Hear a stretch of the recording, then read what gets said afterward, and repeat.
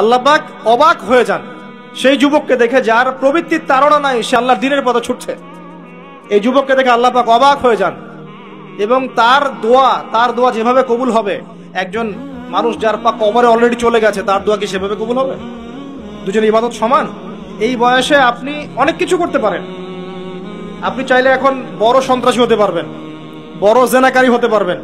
আপনি চাইলে TikTok celebrity হতে পারবেন। আপনি চাইলে এখন আরও আরও খারাপ লাইনে যে মাদক সেবন করতে পারবেন।